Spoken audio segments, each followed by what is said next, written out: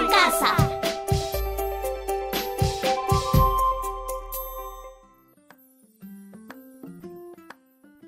Leemos Juntos es un programa creado para todas y todos los peruanos donde podrán imaginar, disfrutar, soñar y seguir su camino como lectores y lectoras.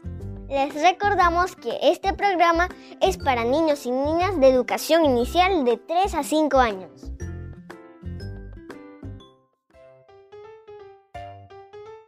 Hola familias del Perú, soy Cindy. Hoy tenemos una invitada en el programa. Aplausos para Patricia.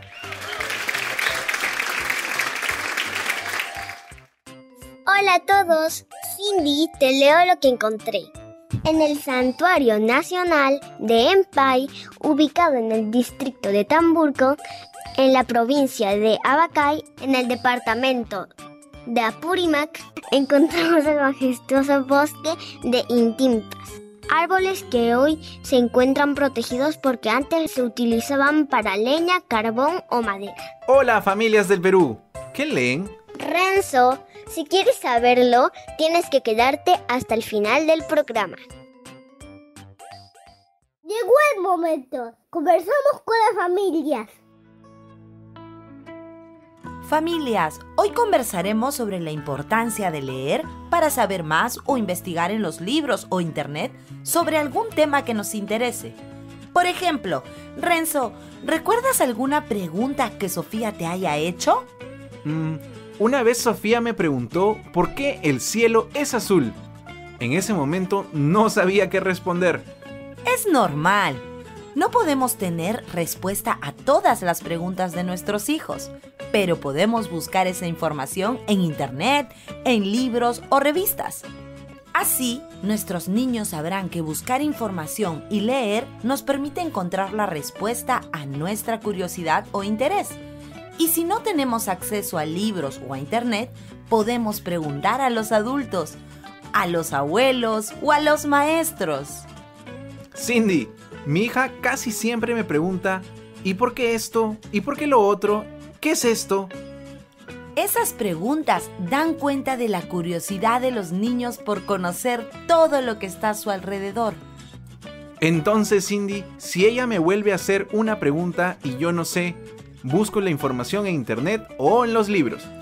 Así es, Renzo. Después que encuentro la información, ¿qué hago, Cindy? Lees la que has encontrado. Trata de que no sea muy extenso y después invitas a tu hija a conversar sobre lo leído. De acuerdo, Cindy. Ahora sé que es importante buscar información para que nuestros niños aprendan y comprueben que se lee para saber más sobre algo. Ahora sí, llamemos a los niños que hoy vamos a contar una gran historia. Llegó el momento de la historia del día. Les recordamos que este programa es para niños y niñas de educación inicial de 3 a 5 años. Niños y niñas, hoy escucharemos un cuento que se llama...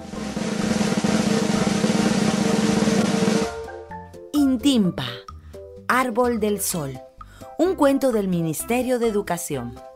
Pónganse cómodos y escuchen con atención esta historia que empieza ahora.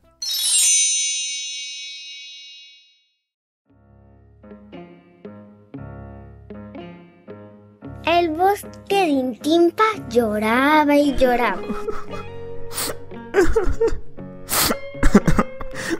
Un colibrí que por ahí pasaba escuchó su llanto, se pasó a la rama de uno de sus árboles y le preguntó: Intimpa, ¿por qué lloras? El árbol de Intimpa respondió: Lloro porque cortan mis ramas, queman mis troncos. Lloro porque pronto desapareceré y a los nevados ya no veré.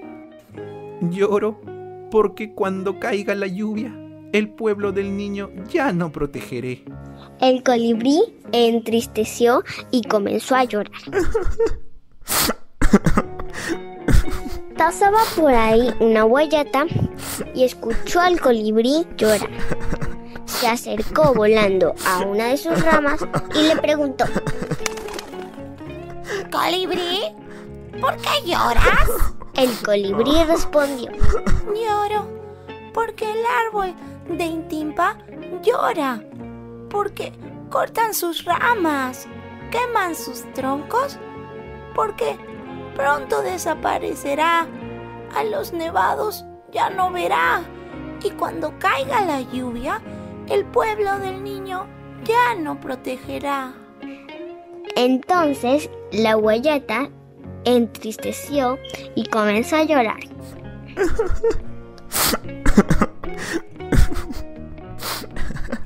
Pasó por ahí un zorrillo y escuchó a la guayata llorar. Entonces le preguntó, Guayata, ¿por qué lloras? la guayata respondió, ¿Lloro? Porque colibrí llora. Porque la itimpa llora. Porque cortan sus ramas.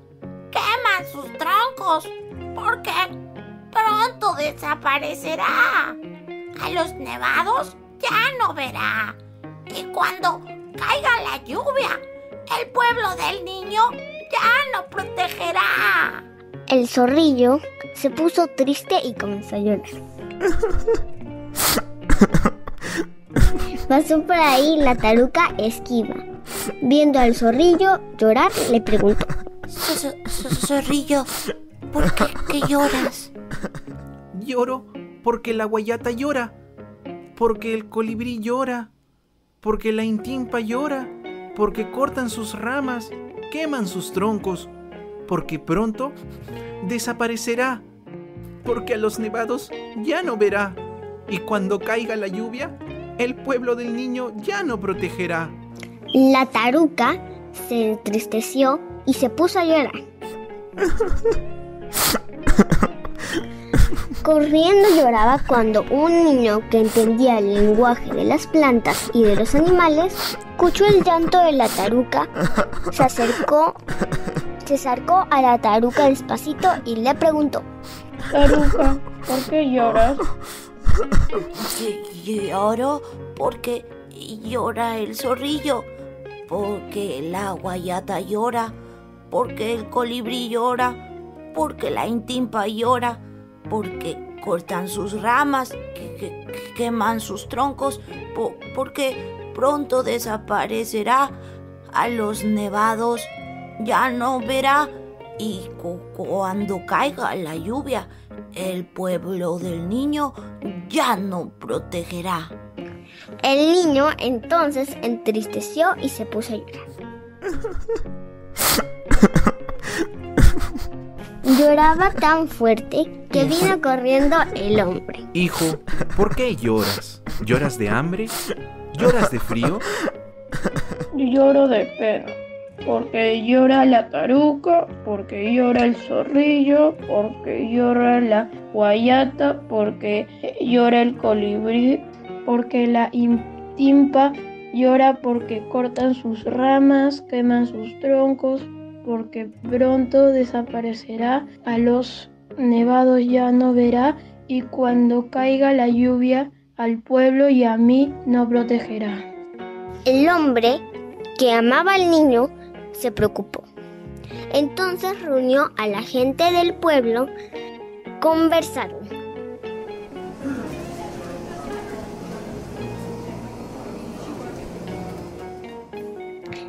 Juntos prometieron ya no cortar más árboles de Intimpa y cuidar el bosque. Y así lo hicieron. Entonces el niño dejó de llorar y la taruca, el zorrillo, la guayata y el colibrí y el árbol de Intimpa también. Ahora, el bosque de Intimpa da refugio a los animales, protege y da alegría al pueblo. El árbol de Intimpa ya no llora y ahora se viste de fiesta, adorna las faldas de los nevados y ahora juega y ríe con el viento.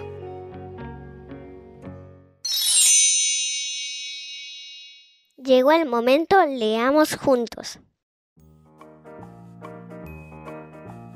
Renzo, ahora ya sabes lo que leía al comienzo del programa y encontré algo más. Se dice que Intimpa, árbol del sol, porque su nombre proviene de las palabras quechuas. Inti, sol y pa, árbol, porque significa árbol del sol o árbol del dios sol. ¡Qué interesante! Y llegó el momento de despedirnos. Hasta pronto familias. Chao niños y niñas. Chao a todos.